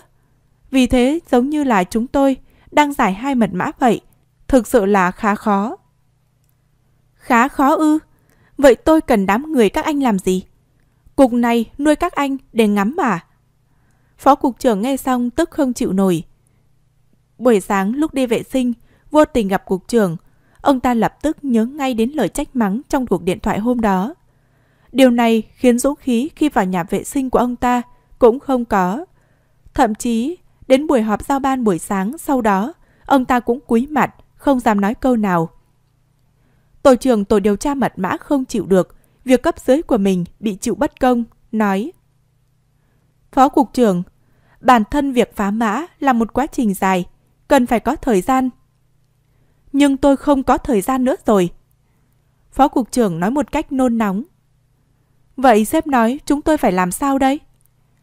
Tổ trưởng tổ điều tra mật mã cũng không biết phải làm sao. Độ khó của bản gốc này gấp mấy lần bản copy, làm sao có thể giải được trong 3-4 ngày chứ? Phó cục trưởng vò đầu bứt tay đẩy phiền não. Tranh thủ thời gian giải mã cho tôi. Khi mệnh lệnh của phó cục trưởng được đưa ra, mọi người lại vùi đầu phá mã trong không khí căng thẳng. Nhưng dù họ có nỗ lực tranh thủ thời gian, thì việc thiết lập của hệ thống không khớp với tài liệu giải mã đã trở thành vấn đề lớn nhất. Cho đến dạng sáng ngày thứ tư, Lệ Xuyên Lâm đúng giờ đứng trước mặt của phó cục trưởng. Mặc dù anh ta không nói câu nào, nhưng trong ánh mắt hiện lên rõ ràng bốn chữ. Đưa USB cho tôi. Phó cục trưởng nhìn về phía nhân viên đã bị mình vắt kiệt sức, lại tính toán thời gian một chút. Quả thực, nếu cứ kéo dài thế này, thì chẳng mấy chốc mà cuộc gọi thứ hai của cục trưởng lại đến. Ông ta nghiến răng nghiến lợi nói. Lệ Xuyên Lâm, tài liệu gốc này, đưa cho cô ta phá đi. USB. Lệ Xuyên Lâm đưa tay ra lấy. Đáng tiếc là phó cục trưởng ngoảnh cổ ra ngoài, mắt trợn trừng nói. Nhưng phải đến cục cảnh sát, ở đây có hệ thống giám sát tốt, phòng trừ việc dò dỉ thông tin. Lệ Xuyên Lâm suy nghĩ một lát, cuối cùng trả lời một câu. Rõ. Sau đó anh ta chạy ra ngoài gọi điện cho nhiếp nhiên. Alo? Giọng nói nhỏ nhẹ, có chút mỏi mệt. Lệ Xuyên Lâm nhìn đồng hồ của mình hỏi. Cô vẫn đang ngủ sao? Ừ, có gì nói nhanh lên. Mấy ngày hôm nay, nhiếp nhiên đều nghĩ về ám hiệu buổi tối hôm đấy, nên không ngủ được. Khó khăn lắm, cô mới chớp mắt được một chút, thì lại bị cuộc điện thoại của Lệ Xuyên Lâm làm tỉnh giấc. Lệ Xuyên Lâm hiểu thói quen ăn nói của cô, nên không có phản ứng gì. Giọng nói bình thản. Phó cục trưởng bảo cô đến phá mã tài liệu. Hứ! Giọng của nhiếp nhiên lanh lảnh bên đầu dây điện thoại. Sau đó cô cười lạnh lùng. Tiếc là chị đây giờ lại không vui. Bảo ông ta đi mà làm lấy. Nói rồi cô cúp máy luôn. Lệ Xuyên Lâm dường như cũng biết trước kết quả. Bình thản nói với phó cục trưởng. Cô ấy không đến. Cái gì? Phó cục trưởng vừa nghe xong đã vô cùng tức giận. Bản thân ông ta không dễ gì mà nén lửa giận xuống để bảo cô ta đến phá mã. Thế mà cô ta lại không nể mặt mũi của mình. Cậu gọi cho cô ta để tôi nghe máy. Lệ Xuyên Lâm lại gọi điện thoại thêm một lần nữa. Rất nhanh, điện thoại đã được kết nối. Nhưng lần này thì giọng điệu khác xa lúc nãy. Giọng điệu đầy tức giận, hét lên trong điện thoại đến nỗi cả phòng đều nghe thấy. Anh có thể cho tôi ngủ đủ rồi hãy gọi tiếp được không? Giọng nói lạnh lùng của phó cục trưởng vang lên. Hoàn thành nhiệm vụ là nhiệm vụ cấp bách. Quả nhiên đầu dây bên kia điện thoại liền yên lặng. Phó cục trưởng nghĩ chắc là vì ban nãy cô chót cư xử không lễ phép nên đã hối hận. Nhưng thực tế thì... Ô, chào buổi sáng phó cục trưởng. Giọng nói đầy phẫn nộ ở đầu dây bên kia đã chuyển thành giọng nói bất cần đời. Phó cục trưởng nhìn đồng hồ của mình. Rõ ràng là đã 2 giờ rưỡi chiều rồi. Ông ta cố nhẫn nhịn nhắc nhở. Bây giờ đã là buổi chiều rồi đấy.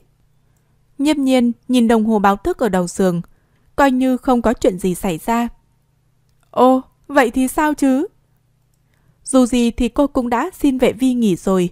Cô có ngủ đến sáng mai thì cũng không ai có quyền can thiệp. Hơn nữa, giao dịch giữa Lưu Trấn và Hoắc Hoành vẫn đang bị hoãn. Tài liệu gốc thì chưa được phá. Cô có dậy thì cũng có tác dụng gì đâu cơ chứ. Chi bằng nằm trên giường ngủ cho được việc. Tài liệu gốc có mật mã mà cô thiết lập, cần cô đến để phá. Phó cục trưởng nói một cách không cam tâm tình nguyện gì. Nghe xong giọng nói buồn bực, trầm lặng kia, nhâm nhân lập tức bật cười. Trong tay của phó cục trưởng có bao nhiêu cao thủ như vậy? Một cô gái như tôi, sao sánh được chứ?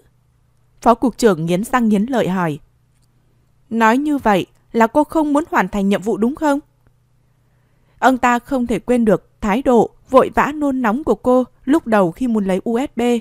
Càng không quên được câu nói không chờ nổi của Lệ Xuyên Lâm.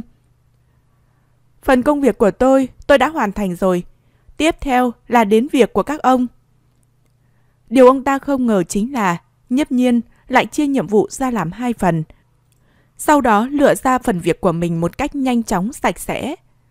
Lúc này, phó cục trưởng đã sốt ruột như kiến bò trong chảo rồi. Nhưng mấy ngày trước, cô không nói thế. Người như tôi ấy mà, nói xong là quên luôn. Ông đừng nghĩ là thật. Nhiếp nhiên nằm trên giường nói một cách sung sướng. Phó cục trưởng bị chọc tức đến nỗi không biết phải làm thế nào. Cô... Được rồi, được rồi. Không có chuyện gì thì đừng làm phiền tôi nữa. Nhiếp nhiên nói bằng giọng thúc giục rồi định cúp máy. Cô gái này đúng thật là, nếu không phải vì cuộc điện thoại của cục trưởng ngày hôm đó, ông đã không rơi vào cảnh tiến thoái lưỡng nan như thế này. Còn phải hạ mình, dùng giọng nhẹ nhàng để nói chuyện. Vậy rốt cuộc là cô muốn tôi làm gì thì cô mới đến đây? Ông hỏi Lệ Xuyên Lâm, anh ta biết đấy. Trong lời nói của nhiếp nhiên rõ ràng là có ý cười. Anh ta có bài học lần trước rồi, ông có thể bảo anh ta chỉ cho. Điện thoại lại một lần nữa bị ngắt. Mặt của phó cục trưởng vẫn mơ hồ, hình như là đang cố gắng tiêu hóa những lời nhấp nhiên nói ban nãy. Cô ấy nói thế nào? Lệ Xuyên Lâm lo lắng hỏi. Không dễ gì phó cục trưởng mới đồng ý cho nhiếp nhiên đến để phá mã.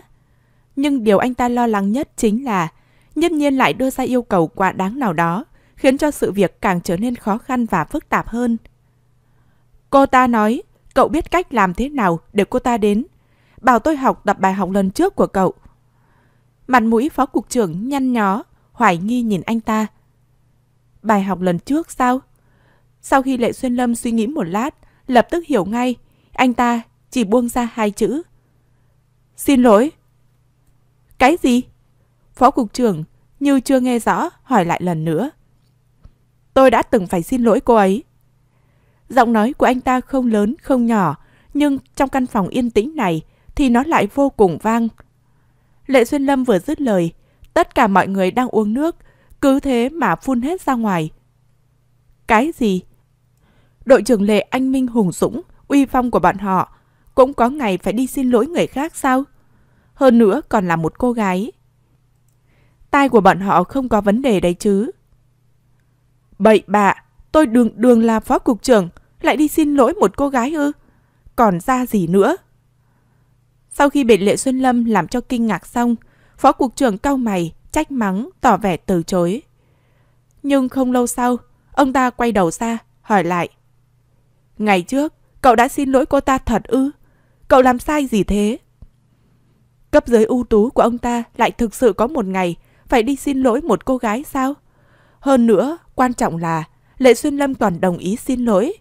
Thật sự là vô cùng khó tin. Tôi loại cô ấy, trả cô ấy về quân đội. Vì sao? Hai người này không phải luôn cùng một chiến tuyến sao? Sao lại có lúc mâu thuẫn chứ? Lúc ấy tôi cảm thấy cách làm việc của cô ấy vô cùng liều lĩnh, không an toàn chút nào, nên đã yêu cầu cô ấy dừng nhiệm vụ lại. Lúc đầu anh ta nghĩ, nhiếp nhiên như người đi trên dây, chỉ cần gió thổi một cái là cũng theo đó mà ngã xuống. Nhưng kết quả thì sao? Ở những thời điểm mấu chốt, cô ấy lại có thể vượt qua một cách xuất sắc. Ban đầu Lệ Xuyên Lâm nghĩ cô là dựa vào may mắn. Nhưng sau này, anh ta dần phát hiện ra cô hoàn toàn dựa vào khả năng phán đoán chính xác và tinh thần bình tĩnh giữa khó khăn của mình. Đó là tinh thần mà người bình thường khó mà có được. Sau đó thì sao? Cô ấy từ chối, sau đó tôi và giáo quan của cô ấy phải kết hợp để đưa cô ấy về. Mặc dù Lệ Xuyên Lâm chỉ nói vài câu ngắn gọn, nhưng Phó Cục trưởng biết, với tính cách của nhiếp nhiên, muốn ra lệnh ép cô dừng mệnh lệnh, còn hai người áp tải cô về. Trong lòng cô nhất định là vô cùng tức giận. Sau đó nữa thì sao? Sau đó nữa tất nhiên là anh ta bị giáo huấn cho tơi bời khói lửa rồi. Im lặng 3-4 giây, Lệ Xuyên Lâm mới bình thản nói. Nhưng tôi phát hiện ra, tốc độ hoàn thành nhiệm vụ của cô ấy rất nhanh. Cô ấy đã sắp tiến vào được bộ phận trọng yếu rồi. Tôi sắp xếp người mới vào, cũng không có cửa để bước tới. Vì thế, cuối cùng cậu lại phải cầu xin cô ta quay lại. Lệ Xuyên Lâm gật đầu. Đúng vậy, tôi cầu xin cô ấy quay lại hoàn thành nhiệm vụ. Nghe xong những chuyện này, Phó Cục trưởng chỉ có thể nói, những người có năng lực tài giỏi thì tính khí dường như đều không tốt. Ông ta thở dài, gật đầu. Được rồi, tôi biết rồi. Cuộc điện thoại lần thứ ba được kết nối. Lần này rất nhanh, bên kia đã nghe máy. Còn không đợi phó cục trưởng nói, nhiếp nhiên đã bắt đầu cười cợt chế giễu. Ông chuẩn bị tâm lý tốt chưa? Lần này, ông đừng có ngất nữa nhé. Ông mà ngất lần nữa, có khi cục trưởng sẽ đích thân đến hỏi thăm ông đấy. Lần này phó cục trưởng đã phá lệ không tức giận nữa. Vì chức vụ của bản thân, vì nhiệm vụ lần này, ông ta dù gì cũng là bề trên. Lại có tư cách một phó cục trưởng nên không thể tính toán với một cô gái được. Ông ta lẩm nhẩm lại mấy lần, sau đó gương mặt bày ra nụ cười gượng gạo, giọng nói nhẹ nhàng ấm áp. Tôi cầu xin cô đến cục cảnh sát để phá mã. Không thật lòng. Nhấp nhiên lạnh lùng, nói như tạt một gáo nước lạnh qua. Không tức giận, không tức giận, phong độ, phong độ. Phó cục trưởng lại lẩm bẩm vài lần, sau đó nói. Vậy tôi cho xe riêng đến đón cô nhé. Nhâm nhiên cười vang lên. Chi bằng ông tự đến đón tôi đi. Vậy tôi đến đón cô. Phó cục trưởng nghĩ là có hy vọng liền nói. Không cần, xe của ông tôi không dám ngồi. Được à, ngồi cùng xe với một ông già trung niên, cô có nghĩ thế nào cũng không thông được. Vậy cô nói đi, cô muốn thế nào? Giọng của phó cục trưởng bắt đầu nhen nhóm chút tức giận. Tôi muốn... Nhiếp nhiên nằm trên giường, đột nhiên nghĩ ra cái gì đó. Ngữ khí có vẻ mềm mại hơn. Lúc này tôi không nghĩ ra, nhưng phó cục trưởng đã có ý muốn đích thân đến đón tôi. Tôi cũng nên nể mặt ngài chứ. Phó cục trưởng thấy ngữ điệu của cô có vẻ hòa nhã thì lập tức thở phào. Hy vọng cô tranh thủ thời gian nhanh chóng đến cục cảnh sát. Sau khi cúp máy xong, phó cục trưởng nghĩ là vì sự độ lượng của ông ta đã khiến nhiếp nhiên cảm thấy bản thân vô lý, vì thế đã tỉnh ngộ ra. Thực tế thì ban nãy nhiếp nhiên đột nhiên nhớ đến mật mã buổi tối mấy ngày trước, cùng với cả ám hiệu mà lúc trước Hoác Hoành để lại. Mật mã quân đội, ám hiệu đường phố, điều này khiến cô càng tò mò. Rốt cuộc thì Hoác Hoành là thần thánh phương nào vậy? Vì thế cô quyết định chi bằng nhân cơ hội đến cục cảnh sát lần này, lợi dụng mạng tín hiệu của cục cảnh sát điều tra một chút. Mặc dù lúc đầu Lệ Xuyên Lâm cũng đã từng đưa tài liệu của Hoác Hoành cho cô xem, nhưng cô vẫn muốn tự tìm hiểu một chút. Có khi lại tìm được những thứ mà bản thân không ngờ tới. Cô vệ sinh cá nhân, trang điểm xong thì âm thầm bắt một chiếc tắc đi nhanh đến cục cảnh sát. Vừa mới đến cổng cục cảnh sát, cô đã thấy Lệ Duyên Lâm đứng đó chờ mình rồi. Ha ha, núi băng giờ cũng đã thông suốt rồi sao? Biết là chờ phụ nữ phải đứng ở cửa, rõ ràng là có sự chân thành. Nhâm nhiên trả tiền taxi xong, sau đó tươi cười đi đến trước mặt Lệ Xuyên Lâm. Lệ Xuyên Lâm biết cô đang chế giễu mình vì lúc trước không ga lăng trả tiền cơm. Cô đã làm gì vậy? Anh ta bất giác hỏi một câu. Cô cười khúc khích. Đâu có gì, chỉ là cục trưởng gọi điện thoại cho ông ta, đánh động vài câu, khiến cho ông ta trở nên dễ bảo thôi. Trong nháy mắt, Lệ Xuyên Lâm đã hiểu. Thảo nào? Anh ta tự thì thào một câu. Mấy ngày nay, phó cục trưởng vừa nhìn thấy cục trưởng thì sắc mặt đã ánh lên sự bất thường, vô cùng khó coi. Lúc họp cũng không dám ngẩng đầu. Lệ Xuyên Lâm cứ nghĩ là có chuyện gì. Không ngờ chính là cô ở đằng sau bày trò. Sao cô lại có thể khiến cho cục trưởng đồng ý gọi điện vậy? Cô đến tố cáo sao? Nhưng đến tố cáo thì lại không giống phong cách của nhiếp nhiên. Anh ta thực sự rất tò mò. Nhiếp nhiên rốt cục đã làm gì mà có thể ảnh hưởng đến cục trưởng vậy? Tôi không khiến cho cục trưởng gọi. Vậy thì sao cục trưởng lại gọi điện thoại? Lệ Xuyên Lâm tò mò hỏi. Anh bạn Lệ à, sao anh lại không chịu động não chứ? Nhâm nhiên thất vọng lắc đầu, sau đó thấp giọng nói. Trong con ngõ đằng sau cục của các anh có một hộp thông tin. Tôi chỉ cần rút ra vài cái thì điện thoại ở phòng nào tôi cũng có thể dùng. Hóa ra là như vậy. Cô... Cuối cùng Lệ Xuyên Lâm đã hiểu rõ rồi. Sao cục trưởng lại có thể gọi điện cho phó cục trưởng chứ? rõ ràng là nhiếp nhiên mạo xanh. Hóa ra tất cả đều nằm hết trong dự tính của cô ấy. Có phải là tôi rất thông minh không? Nhiếp nhiên cười lém lình. Lệ Xuân Lâm buông một câu lạnh băng. Cô không nghĩ đến lúc bị phát hiện sao? Ngộ nhỡ, cục trưởng và phó cục trưởng nói chuyện với nhau, vậy thì cuộc điện thoại đó có thể bị phanh phui. Nhâm nhiên cười vỗ vai Lệ Xuyên Lâm. Quen biết tôi lâu như vậy, anh thấy tôi giống kiểu sẽ không nắm phần thắng trong tay sao? Cô sớm đã biết phó cục trưởng sẽ không hoàn thành được việc này rồi. Một người không hoàn thành được thì có mặt mũi nào mà gặp cục trưởng chứ? Có khi chỉ vừa nhìn thấy đã muốn trốn rồi. Ông ta không ngốc đến mức đã không hoàn thành được còn chạy tới chạy lui đâu. Chờ cục trưởng mắng sao? Lệ Xuyên Lâm nhìn nụ cười của cô mới dần hiểu ra. Phải nói là cô đã nắm chắc được hết suy nghĩ của phó cục trưởng rồi. Đi những nước cờ liều lĩnh, hình như là phong cách của cô. Hai người đi sóng đôi đến thẳng phòng của tổ điều tra mật mã ở tầng 3. Một hàng người sau khi nhìn thấy nhiếp nhiên đều nhường đường cho cô. Cô còn chưa kịp mở miệng nói câu nào thì tiếng của dư xảo xảo phía ngoài cửa đã vang lên. Đội trưởng Lệ, tài liệu này anh đến xem một... Khi vừa bước vào cửa, nhìn thấy nhiếp nhiên đang ngồi ở máy chủ, nụ cười rạng rỡ trên gương mặt cô ta hóa đá. Lời đang định nói tiếp bỗng tan biến. Hello, lại gặp cô rồi. Nhiếp nhiên nhìn gương mặt kinh ngạc cứng đờ của cô ta thì cười, khua tay trước mặt cô ta. Dư xào xào lấy lại tinh thần, kinh ngạc chỉ vào cô. Cô... cô... Cô... sao cô lại đến đây vậy? Cô nói xem. Cô... cô... cô to gan thật đấy. Mấy người... mấy người đuổi cô ta ra ngoài cho tôi. Dư xảo xảo tức giận, liền chỉ vào mấy người khác trong phòng nói. Hoàn toàn không để ý đến Lệ Xuyên Lâm đang đứng bên cạnh. Cứ thế mà thể hiện đúng bản chất của mình. Cả phòng yên lặng, không ai có động tĩnh gì. Dư xào xào nổi giận đùng đùng, giọng nói cũng cao lên vài phần. Các người đừng quên, chính cô ta đã làm cho phó cục trưởng tức giận đến nỗi phải nhập viện. Sao các người lại có thể cho loại người này vào đây chứ? Có phải các người không muốn làm nữa không? Sao vậy? Đột nhiên có một tiếng nói cắt ngang. Dư xảo xảo hướng về phía âm thanh ấy, nói.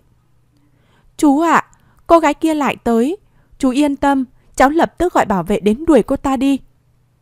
Phó cục trưởng nhìn nhiếp nhiên đang ngồi chễm trệ ở máy chủ, mặt hướng về phía ông ta cười vẫy tay. Không chịu được mà trầm mặt lại. Nếu không phải vì cuộc điện thoại của cục trưởng thì ông ta cũng không đồng ý cho cô gái này bước vào đây đâu. Giọng phó cục trưởng lạnh lùng. Không cần đâu, là chú bảo cô ta đến.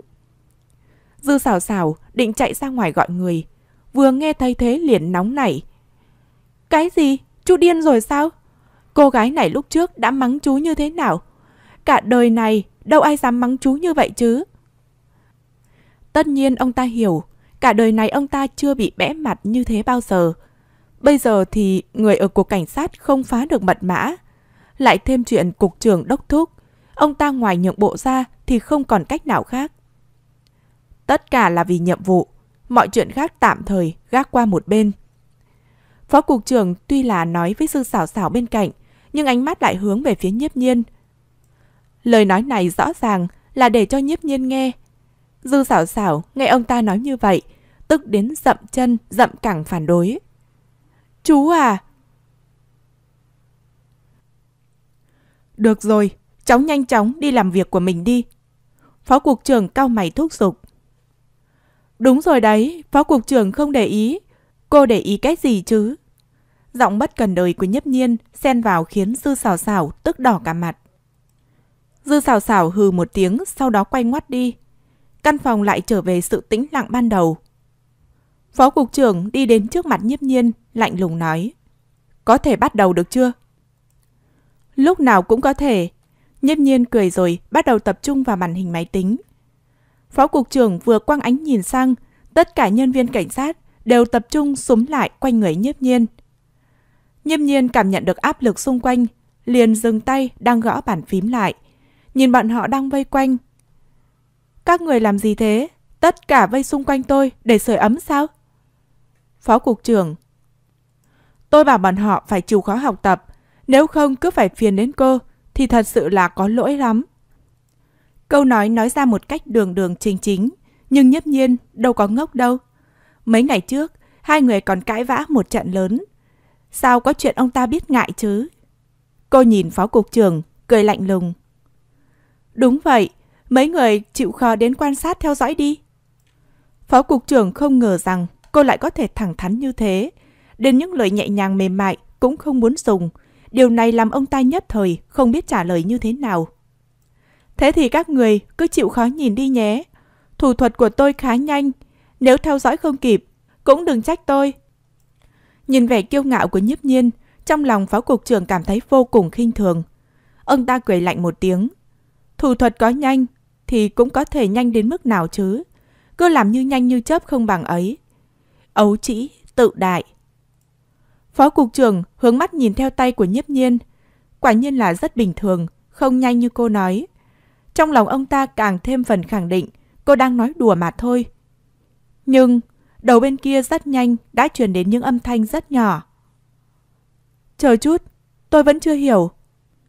Tôi cũng chưa hiểu sao chỗ này lại dùng dãy số này để thay thế. Chỗ mật mã này dùng cách giải mã gì vậy? Cái này tôi chưa từng nhìn thấy. Đám đông xôn xao lên khiến cho phó cục trưởng lúc này mới nhận ra. Thì ra cô ta lo lắng về thủ thuật nhanh, không phải là ở tốc độ đánh máy nhanh, mà là khả năng tính toán nhanh. Kiểu giải mã này cũng không có người hiểu được.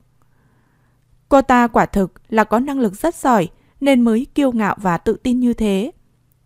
Lúc này phó cục trưởng thấy cô quay ra cười với mình. Nụ cười này đích thị là kiểu khiêu khích chọc tức mình đây. Mặt ông ta lập tức sầm lại, lửa giận lại bùng bùng, tức đến nỗi mặt quay đi chỗ khác. Dù sao thì từ lúc cục trưởng gọi điện đến là ông ta đã thua rồi. Đen rồi, đen rồi, sao tự nhiên màn hình lại đen xì thế kia? Một người trong đám đông nói. Giọng nói này như thêm dầu vào lửa, khiến cả đám đông nổ tung. Sao lại đen thế kia? Có phải là hỏng rồi không? Không thể nào. Tài liệu gốc lại bị hỏng sao? Có phải là bị nhiễm virus rồi không? Đám người kia nhao nhao lên như ong vỡ tổ. Phó cục trưởng chỉ cần nghe những từ như màn hình đen, tài liệu gốc hỏng, nhiễm virus, thì lập tức nhảy phát dậy đi tới. Cô đang làm cách gì vậy? Vì sao máy tính lại thành ra thế này? Tài liệu gốc này khó khăn lắm mới lấy được. Giờ mới có nửa tiếng đến máy tính cũng đen ngòm thế này.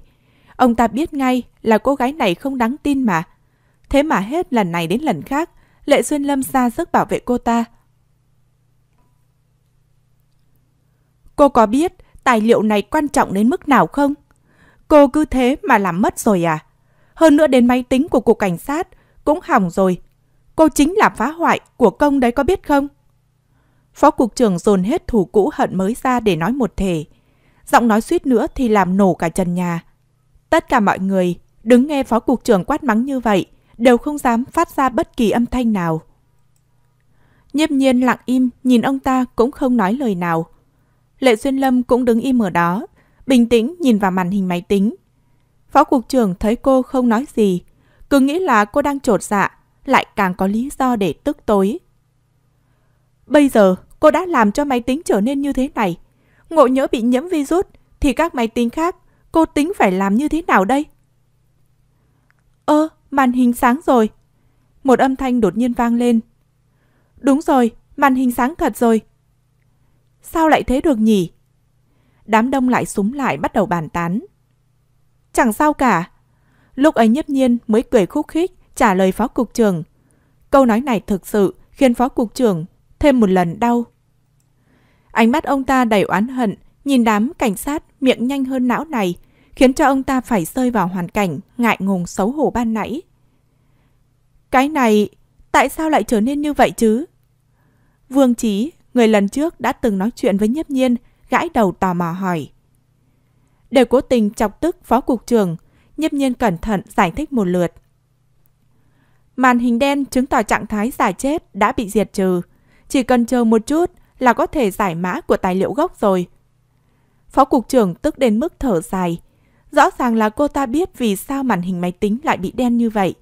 Thế nhưng hà cớ gì lại yên lặng, không nói gì chứ. có phải muốn đem mình ra làm trò đùa không? Thật không vậy? Vương Chí kinh ngạc. Thật chứ, chiếc máy tính đó từ lúc khởi động đã là trạng thái giả chết. Cái gì cũng mở ra được, nhưng lại không tìm được tài liệu gốc. Nhâm nhiên nói vài câu, di chuyển máy tính chỉ vào mấy cửa sổ. Vương Chí khom lưng, ngồi xổm xuống cạnh cô hỏi tiếp. Vậy cô làm thế nào để biết nó có phải là giả chết hay không? Nhâm nhiên chỉ vào màn hình. Cậu đã nhìn thấy chiếc máy tính của nhân vật nổi tiếng nào mà không có cài password chưa? Càng bình thường thì càng chứng tỏ là có vấn đề. Hóa ra là như vậy. Vương Chí thông suốt gật đầu. Đúng là được nghe chuyên gia nói chuyện, như là 10 năm đọc sách vậy. Ừm, nhấp nhiên vừa làm việc trên máy tính vừa ẩm ừ lấy lệ. Lệ Xuân Lâm đứng ở phía sau, tầm mắt dừng ở phía đỉnh đầu của nhiếp nhiên. Anh biết rằng cô gái này không dễ gì mà trầm mặc như vậy. Nếu mà có sai đi chăng nữa, thì cô ấy cũng có cách phản bác, chứ không thể ngoan ngoãn ngồi im như vậy được. Không lâu sau, trên màn hình bỗng nhảy lên một chương trình. Chính là chương trình của tài liệu gốc. Ra rồi kìa, ra rồi. Đám đông lại nhốn nháo lên. Cái chương trình này đối với mỗi người bọn họ đều vô cùng quen thuộc. Nó giống như mã bọn họ phá được lúc phá tài liệu giả ban đầu. Nhưng bọn họ biết, lần này nhất định là thật. Họ linh cảm như vậy. Hệ thống này là cô tự thiết kế sao? Ừ. Cô học công nghệ thông tin à? Không. Cô tốt nghiệp đại học nào vậy? Bị hỏi đến câu này, nhiêm nhiên nhìn sang Vương Trí. Người bên cạnh hỏi mình liên tục từ nãy đến giờ. Cô cười khúc khích. Tốt nghiệp đại học tại gia. Gallatin. Hóa ra là trường Gallatin. Vương Trí âm thầm. Vương Trí âm thầm gắn cho người trước mặt cái mác du học sinh về nước. Ừ, nhiếp nhiên gật đầu. Chẳng trách lại giỏi như thế. Ánh mắt cậu ta nhìn nhiếp nhiên đầy ngưỡng mộ. Nhiếp nhiên nhìn ánh mắt lấp lánh của cậu ta thì khóe miệng khẽ cong lên. Lệ Xuân Lâm nhìn nhiếp nhiên, đang nín cười. Còn người bên cạnh thì nhìn cô như nhìn thần tượng, khóe miệng cũng tự động cong lên. Cô ấy vừa mới tốt nghiệp cấp 3. Anh ta lên tiếng để bảo vệ cấp dưới của mình. À, vậy Gallatin... Vương Chí nhìn nhấp nhiên, rồi lại nhìn Lệ Duyên Lâm, không biết phải nghe ai. Nhâm nhiên không nhìn được mà cười ngặt nghẽo. Tôi nói là tôi ngồi trong nhà đó, là tại cậu hiểu sai. Vậy ý cô là cô tự học? Vương Chí kinh ngạc, mở to mắt nhìn. Ừ. Cũng coi như là như thế đi. Ngày trước, cô học những thứ này chỉ để phá mã của căn cứ thoát ra ngoài. Nhưng cuối cùng lại thất bại. Thế nhưng trưởng quan lại không trừng phạt cô, mà lại cho cô cơ hội lần thứ ba. Nếu lần thứ ba này cô có thể thoát được, thì coi như cô được tự do. Nhưng nếu không được, thì cô sẽ phải chịu sự trừng phạt tàn khốc nhất. Cô không biết hình phạt ấy là gì, cũng không muốn bị trừng phạt. Vì thế cô ra sức học. Cuối cùng lần thứ ba cô đã thoát ra được. Năm ấy cô mới 11 tuổi. Tiếc là sau khi rời khỏi đấy, cô mới phát hiện ra căn cứ nơi cô ở chính là một hòn đảo cách biệt hoàn toàn với thế giới. Nhưng vì tự do, cô vẫn quyết tâm nhảy xuống biển. Năm ngày cô lặn ngụp dưới biển, nhưng không thấy một chiếc thuyền nào. Cuối cùng cô bị ngất lịm đi. Khi tỉnh lại cô thấy mình vẫn nằm trên chiếc giường cũ. Cô biết mình lại trở về rồi. Và cô sắp phải đối mặt với hình phạt tàn khốc nhất. Năm ngày bị treo ở đỉnh cao nhất của pháo đài. Năm ngày không ăn uống, chỉ có gió biển đêm như cắt da cắt thịt và nắng cháy như thiêu đốt. Thậm chí cô còn bị chim mổ lên da thịt. Sau 5 ngày, thân thể cô hoàn toàn kiệt quệ vì mất nước. Da thịt bị nắng cháy và gió biển làm cho nứt toác ra. Hơn nữa da thịt cô lúc ấy đã bắt đầu làm mùi cho chim rồi. Toàn bộ các bộ phận trên cơ thể đều suy kiệt một cách nhanh chóng. Nếu chậm tí nữa, có khi cô đã đi gặp Thượng Đế rồi. Nhưng cũng may, cô học giải mã rất tốt, nên trưởng quan mới miễn cưỡng mà tha cho cô một lần. Đúng là thiên tài. Tiếng của Vương Trí vang lên bên tai, kéo cô về với thực tại. Nhâm nhân lạnh lùng bặm môi, ánh mắt đầy nghiêm túc. Thiên tài gì chứ? Khi cậu phát hiện mạng sống của mình bị buộc chặt với những mật mã này, thì vì mạng sống kẻ ngốc cũng trở thành thiên tài. Ý của cô là gì? Mặc dù giải mã thì sẽ cứu được nhiều người, nhưng liên quan gì đến cuộc sống của mình chứ? Cậu ta không hiểu. Ý là cậu nói nhiều quá. Cậu có biết im lặng là vàng không? Nhâm nhiên cố tình đánh chống lảng rồi tiếp tục làm việc. Vương Chí bị cô nói thế xong thì im bặt, chỉ tập trung vào màn hình máy tính. Thời gian lặng lẽ trôi qua, ánh nắng chiều đã dần tắt. Người ở cục cảnh sát cũng tan làm về nhà. Chỉ còn lại những người trực ban vẫn đang ở lại đảm đương công việc của mình. Ôi, mệt quá! Cuối cùng đến 9 rưỡi tối, Nhâm nhiên mới thả chuột máy tính ra rồi vươn vai. Phó cục trưởng ngồi cách đó không xa, đôi mắt mệt mỏi ủ rũ. Sau khi nghe thấy tiếng của nhiếp nhiên, ông ta lập tức mở to mắt, nhìn cô lắc đầu duỗi chân duỗi tay, giãn gân cốt thì hỏi. Xong rồi à? Vẫn chưa, vẫn cần thời gian. Tôi đói rồi, tôi muốn ăn gì đó. Nhiêm nhiên đứng dậy. Cô chợt nhìn thấy đội cảnh sát đang nằm gục xung quanh. Chắc là mấy ngày nay phải làm việc liên tục đã khiến họ mệt lên đến đỉnh điểm rồi. Chỉ có Vương Trí và Lệ Xuyên Lâm, một người đứng bất động phía sau và một người thì ngồi xổm bên cạnh, tập trung tuyệt đối vào màn hình. Tôi đi mua cho. Vương Trí vì ngồi lâu quá, lúc đứng dậy, chân mỏi, đến nỗi cậu ta phải cắn chặt răng mới đứng được. Sau đó đi tập tễnh ra ngoài. Khi nào mới phá được mã? Lệ Xuyên Lâm buông một câu lạnh lùng. Chắc là đêm nay có thể phá được rồi. Nhiếp nhiên, thấy đội cảnh sát đang mơ màng tỉnh dậy, nghe thấy câu phải đến đêm, mặt lại ánh lên sự mệt mỏi. Nhiếp nhiên xem đồng hồ, nói với bọn họ một cách chân thành.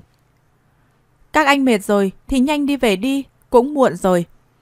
Nhưng họ vẫn chưa kịp đi đến cửa, thì nghe thấy phó cục trưởng ra lệnh. Không được, các cậu phải ở lại để còn học hỏi chứ. Các anh có học được gì không? Nhiếp nhiên bình tĩnh, nhân lúc đội cảnh sát kia vẫn chưa tỉnh hẳn, cô hỏi. Quả nhiên bọn họ lắc đầu một cách yếu ớt. Thấy chưa? Bọn họ nhìn cũng có hiểu đâu. Bắt bọn họ ở đây làm gì? Nhiêm nhiên chỉ vào đội cảnh sát đang sức cùng lực kiệt kia. Phó cục trưởng tức đến nỗi chỉ muốn đạp cho mỗi người một cái. Phó cục trưởng, ông ép đội cảnh sát này làm việc liên tục mấy đêm liên tục, không nghỉ rồi. Có phải ông muốn bọn họ lăn đùng ra đây cho ông chăm sóc không? Phó cục trưởng đứng thẳng lưng, nói giọng hách dịch. Đây là nơi quản lý bọn họ. Bọn họ bắt buộc phải ở đây. Cô cười lạnh lùng. Nói thật, khi tôi giải mã họ không hiểu. Vậy thì trình tự giải mã của tôi, ông nghĩ là họ có thể biết được không? Tay của phó cục trưởng nắm chặt lại. Đi về nghỉ ngơi đi. Phó cục trưởng thấp giọng, nín nhịn xua tay. Cảm ơn phó cục trưởng. Vừa nghe thấy cuối cùng cũng có thể về nhà tắm giặt nghỉ ngơi. Đám người đó liền cảm ơn dối rít rồi nhanh chóng rời đi. Cả căn phòng chỉ còn lại nhiếp nhiên, Lệ Xuyên Lâm và Phó Cục trưởng. Phó Cục trưởng không biết gì về mật mã, ở đây cũng chỉ là ngồi cho có mà thôi. Vì thế, ông nói một cách đầy trịnh trọng với Lệ Xuyên Lâm. Lệ Xuyên Lâm, việc ở đây tôi giao cho cậu. Cục cảnh sát không thể có nhiễu loạn. Tôi hy vọng cậu hiểu. Thưa Phó Cục trưởng, tôi biết rồi ạ. Lệ Xuyên Lâm gật đầu. Nghe thấy Lệ Xuyên Lâm bảo đảm xong, Phó Cục trưởng mới rời đi. Nhâm nhiên thở phào, quăng mình xuống ghế, xoa bóp cổ, thư giãn một chút. Nhưng Lệ duyên Lâm ở phía đối diện, cứ ngồi thế nhìn cô. Đồ ăn đến rồi đây. Vương Trí chưa nhìn thấy người đã nghe thấy tiếng. Tiếng bước chân ngày càng gần hơn. Sau đó giọng vui mừng của Vương Trí chuyển sang ngạc nhiên. Ôi, mọi người đâu hết rồi? Ừ, mọi người về hết rồi. Cậu để đồ ở đây rồi cũng về đi. Nhâm nhiên vừa nhắm mắt say cổ vừa nói. Vâng. Vương Chí miệng nói câu trả lời, nhưng sau khi đặt đồ ăn lên bàn thì chân lại không nhúc nhích. Cảm thấy trong phòng vẫn còn hơi thở của người khác, nhâm nhiên mới dần mở mắt nhìn cậu ta. Vẫn còn chuyện gì à? Trong mắt nhiếp nhiên, Vương Chí dường như vẫn còn điều gì lo lắng băn khoăn. Tôi, tôi, tôi có thể ở lại xem không? Nhiêm nhiên nhíu nhẹ lông mày. Ừ, cậu không mệt sao? Không mệt. Vương Chí lắc đầu. Cậu hiểu à? Vương Chí gãi đầu gãi tai, cười.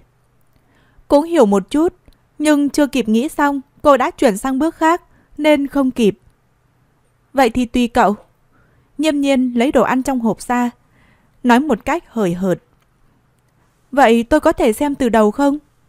Vương Chí đứng đó đầy mong đợi, nhiêm nhiên xua tay nói. Tùy cậu.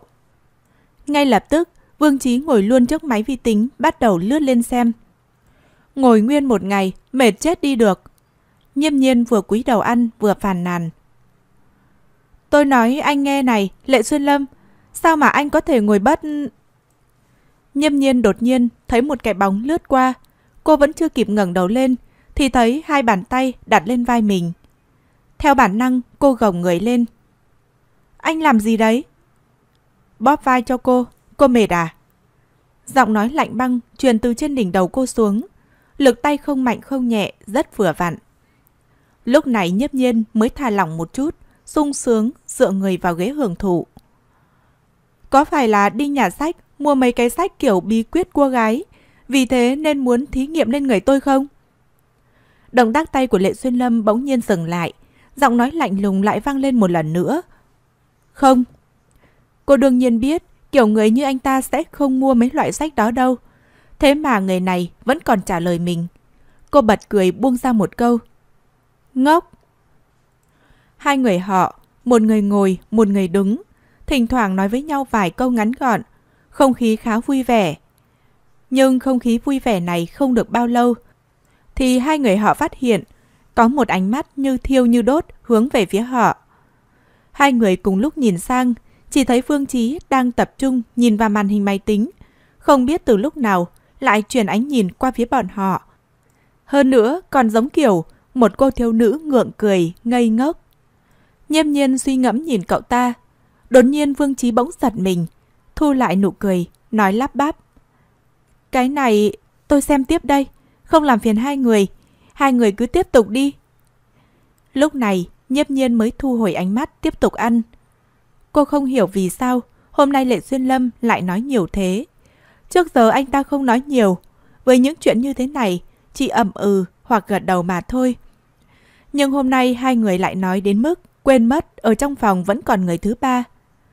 Vương Trí thấy hai người bọn họ nói chuyện không để ý gì đến mình. Một mình yên lặng ngồi trước máy tính lướt qua lướt lại. Đột nhiên có một tiếng động rất nhỏ vang lên. Tai của nhiếp nhiên khẽ động. Ăn no rồi hơi mệt. Tôi đi ra ngoài cho tỉnh táo đây. Nhâm nhiên đột nhiên nói một câu, sau đó đi ra ngoài. Nhưng đi ra đến cửa, cô vẫn thấy Lệ Xuyên Lâm ngồi yên ở chỗ của mình, không hề có ý đứng dậy. Nhiêm nhiên dựa vào một bên cửa, nhìn Lệ Xuyên Lâm nói. Anh không đi cùng tôi sao? Để tôi đi một mình, mà anh cũng yên tâm mà. Lệ Xuyên Lâm nghe xong, khóe miệng vô thức hơi run rẩy. Anh ta thật sự rất muốn nói, đây là cục cảnh sát, ai dám làm gì cô chứ? Giải mã tài liệu. Anh ta nhìn về phía máy tính, có chút không yên tâm. Việc giải mã tài liệu này liên quan trực tiếp đến vận mệnh của cô sau này. Ngộ nhỡ có phát sinh vấn đề gì thì đúng thật là công cấp. Nhiêm nhiên lại như chẳng quan tâm, chỉ vào Vương Trí. Không phải là còn có cậu ta sao? Đi thôi.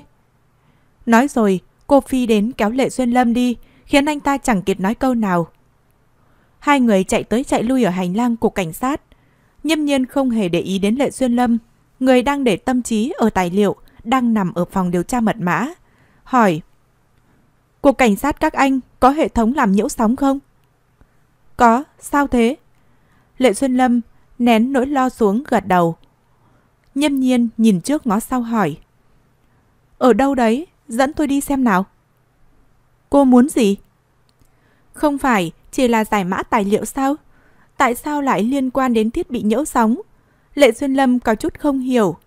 Nhiêm nhiên cười vỗ vai Lệ xuyên Lâm nhưng muốn làm anh ta yên tâm. Anh yên tâm đi, chỉ là kiểm tra chút xíu thôi. Dù sao thì có anh ở bên cạnh tôi cũng không làm chuyện gì xấu được. Lệ Xuyên Lâm ôm sự hoài nghi, dẫn cô đến một căn phòng. Số lượng máy móc và máy tính ở phòng này còn nhiều hơn phòng điều tra mật mã rất nhiều. Hơn nữa tất cả đều đang hoạt động. Đây chính là hệ thống nhiễu sóng của Cục Cảnh sát sao? Nhiêm nhiên ngồi trước một cái máy tính gõ vài cái. Lệ Xuyên Lâm đứng bên cạnh thấp giọng. Ừ. Nhiêm nhiên gõ một chuỗi các dãy số, xong lại phát hiện không có tín hiệu nhiễu sóng. Cô chỉ vào màn hình hỏi. Tại sao lại không mở? Không mở. Ngay lập tức Lệ Xuyên Lâm cúi người nhìn màn hình. Hai hàng lông mày nhíu lại. Vẫn luôn mở liên tục mà. Ồ, vậy có thể là ai đó quên. Nhâm nhiên khởi động lại chế độ nhiễu sóng, sau đó tắt màn hình đi, giống như đã hoàn thành nhiệm vụ rồi, cô nói. Đi thôi, đi về tiếp tục giải mã. Lệ Xuyên Lâm nhìn bóng lưng cô rời đi, lại nhìn chiếc máy tính trên bàn. Anh ta nghĩ chuyện này không hề đơn giản như thế. Nhiêm nhiên không thể vô duyên vô cớ lại hỏi câu đầu tiên khi xuống lầu là muốn biết phòng tín hiệu nhiễu sóng ở đâu. Cũng không thể bước vào kiểm tra. Sau đó giúp cục cảnh sát khởi động lại hệ thống nhiễu sóng rồi đi ra. Từ trước tới giờ, cô ấy không phải là người thích ôm chuyện bao đồng hoặc là người tò mò. Cô ấy làm như vậy, nhất định là phải có nguyên nhân.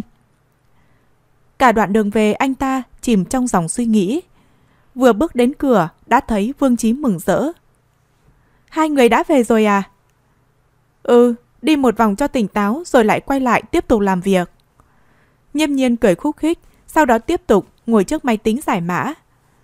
Lệ Xuyên Lâm thấy thái độ của nhiếp nhiên rất hòa nhã và thân thiện. Nhưng càng như thế anh ta lại càng thấy có vấn đề. Úi! Đột nhiên nhiếp nhiên kinh ngạc trợn mắt. Lệ Xuân Lâm nghĩ ngay đến việc tài liệu có vấn đề, lập tức chạy tới. Sao? Sao vậy? Nhưng Vương Trí nghe tiếng nhiếp nhiên kêu lên như thế thì có chút căng thẳng.